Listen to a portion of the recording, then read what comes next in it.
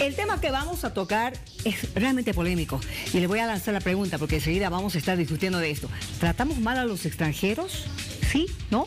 ¿Por qué? ¿O será temor a lo desconocido? Vamos a ver esta nota y enseguida entramos en materia.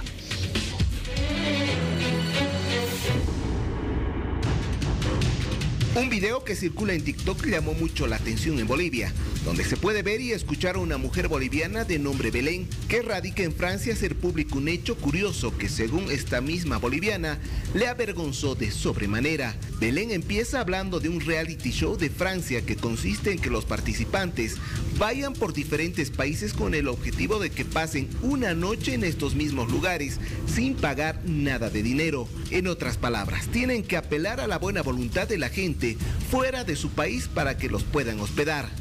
Tengo que hablar de mi país porque pasó algo que me avergonzó totalmente de mi país acá en Francia. El problema viene cuando este mismo reality show decide mandar a todos los participantes a Bolivia, precisamente a la ciudad de La Paz. Y es aquí donde esta misma boliviana hace conocer su reclamo, pues resulta que estos participantes de Francia no pudieron conseguir que la gente pueda hospedarlos por una noche. Lo más increíble, ninguno pudo conseguir apelar a la buena voluntad de toda la gente, por más de que ellos insistieron y rogaron por varias ocasiones. Pecan Express, ¿ok? No sé si lo dije bien, pero Pecan Express. Este programa se trata de varias personas que van en pareja a realizar retos en otros países y han ido por muchos países. Este programa tiene 15 años ya al aire. Este reality se hizo más conocido en Francia cuando pasó esto en Bolivia, pues en todos los países, excepto el nuestro, los participantes pudieron conseguir quien los alojara por una noche y sin dinero. En el reality show se puede ver que los participantes extranjeros ruegan una y otra vez a la gente para que les puedan ayudar, pero la respuesta fue esta.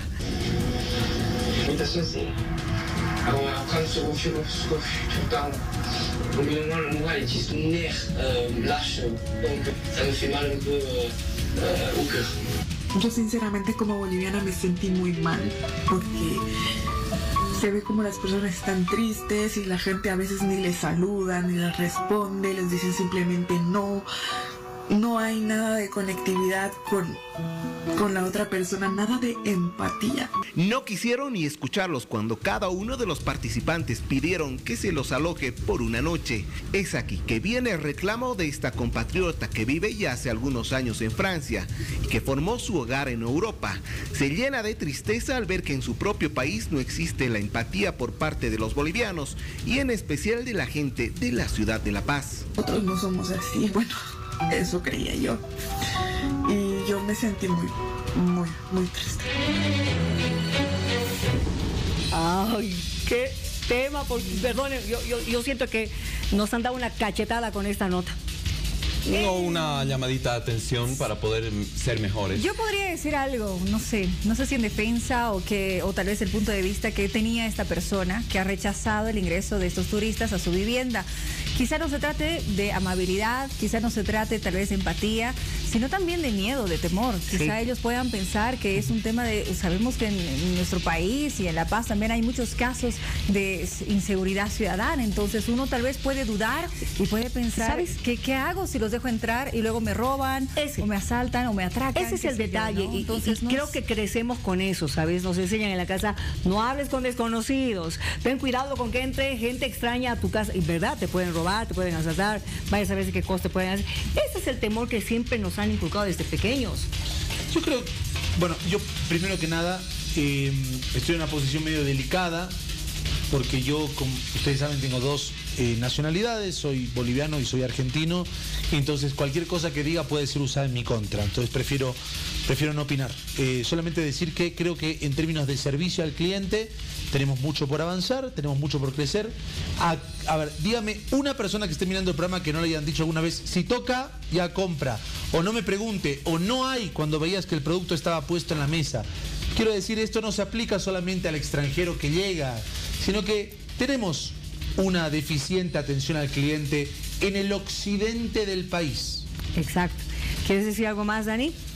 No, yo creo que estoy tratando de analizar bajo qué circunstancias también la gente se ha, se ha presentado así la hora, la coyuntura, el lugar, etcétera. Pero hay un factor que es- me llama mucho la atención. Somos en teoría una ciudad maravilla.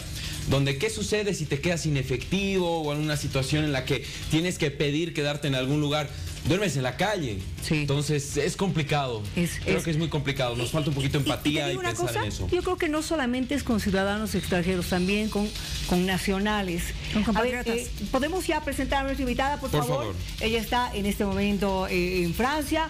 ¿Qué hora es? Por favor, antes de empezar, eh, querida Francia, Belén Bravo. Toda la mañana. Tres. Buenas noches, eh, son las tres y media de la mañana. Tres, tres, Ay, tres no, y media. gracias por Tenemos un número. Sí, tenemos un número de teléfono de WhatsApp para que pueda usted comunicarse eh, y opinar acerca de esto en esta entrevista que tenemos que es fantástica. 776-77221. Por favor, participe, Miriam. Ahora sí. Antes que nada, eh, gracias. Te digo gracias de verdad, de corazón, porque yo creo que el, el tema que tú has puesto sobre el tapete nos tiene que ayudar de una vez por todas a, a poder dilucidar y arreglar esta situación. Leo lo ha dicho, sí, hasta la atención al cliente también tenemos que mejorar. Y no solamente con extranjeros, con nacionales también, porque con nuestra misma gente pasa lo mismo. Hacia la misma boliviano es, es lo mismo. Hay esa reticencia a poder ayudar en situaciones delicadas, ¿no es cierto? Sí, la verdad es que es complicado y fue exactamente lo que me tocó de ver el programa. Y más porque lo estoy viendo fuera de allá y obviamente uno espera que podamos dar una buena imagen de lo que es nuestra Bolivia. Y yo lo lancé, yo lo vi, yo, yo dije, yo voy a opinar sobre esto y voy a expresarme tal como yo me siento. Y yo no creí que iba a causar tanta polémica y en realidad se ve que hay muchas personas, incluso en los comentarios de mi video, que dicen, a mí me pasa igual y eso que yo no soy extranjera y hay algunas personas que son así y pues eso debería de cambiar. Totalmente, Belén, ¿cómo estás? Muy buenas noches. Eh, estábamos tal vez ta- tratando de analizar un poquito el tema, qué es lo que habría pasado también con esta señora, y uno de los puntos de vista es que quizá ella tenía temor, también tenía miedo de dejar entrar a desconocidos a su hogar, porque nosotros vivimos también en una sociedad donde hay mucha inseguridad ciudadana. ¿Tú qué piensas? ¿Podría ser tal vez esa la posibilidad? Bueno, no hay que alejar todas las posibilidades, en realidad es una muy, muy dada porque realmente a la zona que ellos van, a lo que se ve es La Paz y, es, y si no me equivoco es el Alto. Yo no conozco mucho allá, pero es el Alto y nosotros sabemos que las personas del Occidente no es por nada, pero son un poco cerradas y eso lo mencionan muchas personas. Y al parecer, eh, pues Muchos de los comentarios eh, que tuve en el video fueron precisamente que tuvieron miedo, que es por inseguridad, porque La Paz se ha vuelto tan inseguro que ahora tú no puedes ni saludar aparentemente a las personas, o no puedes ni intentar dar una mano porque te puede pasar algo y es peligroso. Bueno, yo quisiera que me cuentes un poquito, Belén. No he tenido la suerte de ver el programa, pero para tener un paralelismo, para darnos cuenta qué sucedía. Eh, en el programa mostraban qué sucedía en otros países, en otras zonas, cómo los recibían, cómo los trataban, etcétera. ¿Cómo era la cosa? ¿Dónde les ha ido mejor a, estos muchachos? En realidad, sí, esta es lo que yo, yo digo. El video que yo hice es la primera parte de un episodio, se da un episodio cada semana. Y bueno, eh, yo me acabo de ver el segundo episodio que ya les tocó ir por Uyuni, por Oruro, y les fue mejor, te cuento. Porque incluso los carros, porque tienen retos donde tienen que conseguir un carro que los lleve gratis hacia la ubicación que les indica la producción. Y en La Paz les costaba mucho más conseguir un carro que se detenga y les diga, pues, que necesitan, o bueno, les ayudo. Pasaban de largo, simplemente hacían no, y bueno, luego, dado un momento, alguien siempre te recibe. Pero en Oruro se ve que fue mucho más fácil por Uyuni por allá y eso mucho mejor. Ahora, eh, eh, eso en parte lo entiendo, porque finalmente Uyuni recibe un tránsito de, turistas de diferentes partes del mundo, ¿no es cierto? Entonces están más acostumbrados a, que- a ver personas de diferentes nacionalidades. Ahora, el problema es aquí en La Paz, pero también lo que decía Denise es cierto, el tema de la inseguridad ciudadana, pero también hay otro detalle, tú también lo debes conocer, Belén, eh, cuando en plena época de crisis, crisis políticas y sociales en países de la región, hemos tenido justamente la llegada de varios, varios ciudadanos extranjeros que evidentemente por la situación en la que han venido, no muchos se han dedicado a buscar trabajo ni a buscar ayuda. ha sido todo lo contrario. Entonces, ha habido también, hemos tenido también ese tipo de experiencias, y no, no voy a generalizar, pero ha sido alguno que otro que se ha portado mal y evidentemente han dejado una, una huella, ¿no? Lamentablemente indeleble. Claro, sí. Yo he escuchado de eso, yo la verdad no lo he visto mucho los últimos años, pero he escuchado sí que ha habido mucha migración, pero yo siento que la migración que causa estos problemas es más la migración latina también, o sea, de otros países latinos. De Europa no, no creo que haya muchos, bueno, no sé, no estoy santificando otros países, pero yo he escuchado más de otros países latinos. Bueno, de todas formas son, son, extraños. A ver, me pongo a pensar y también hay que ver la coyuntura. No lo justifico porque creo que es muy importante tomar este ejemplo para empezar a trabajar el tema social y quizá la inseguridad y poder trabajar con, con extranjeros que puedan llegar a nuestro país. Pero si, por ejemplo, tú pides o un aventón en Estados Unidos, está penado por ley. No puedes hacerlo. No puedes. No puedes. Entonces hubieran perdido ese reto. Quizás en el alto hay mucha inseguridad y eso responde un poquito a esta situación. Pero definitivamente sucedió en La Paz.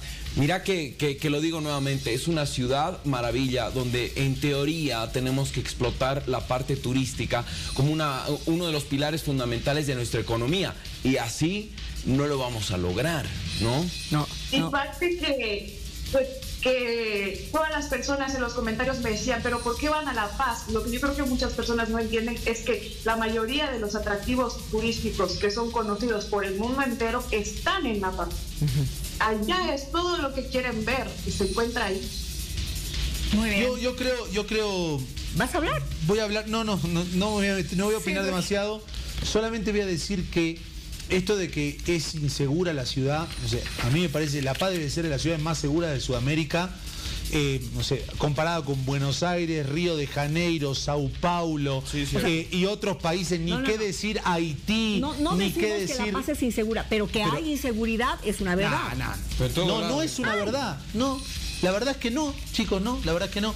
Es al, a- al lado de otras, o sea, me van a decir, comparado con Río de Janeiro, me No, vas a decir no, que es no, insegura La Paz, obvio que no. No estamos diciendo Comparado con Buenos insegura. Aires, ¿qué más inseguro, Buenos Aires o La Paz? ¿Cuántos Pero- homicidios hay en Buenos Aires por día?